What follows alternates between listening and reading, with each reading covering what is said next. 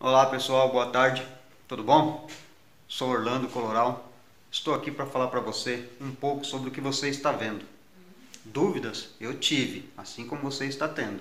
Dúvidas essas que ao estar na internet vemos de tudo um pouco e às vezes até dizemos: será? Será que é verdade? Será que eu posso? Será que eu consigo?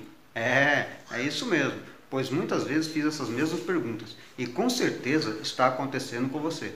Veja bem, sou motorista de ônibus aqui na cidade de São Paulo, a qual está crescendo em todos os aspectos.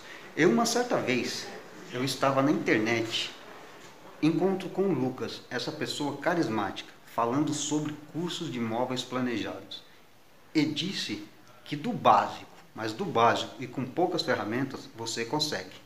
Como pode isso? Ah, pode sim. Se eu pude, você pode. Você irá aprender cálculos, materiais, acessórios a serem usados, tudo o que precisar para fazer um móvel planejado, desde o início até o fim. Esse é um simples modelo, um exemplo do qual eu tenho feito. Não só esse, como vários. Esse é o que está mais próximo.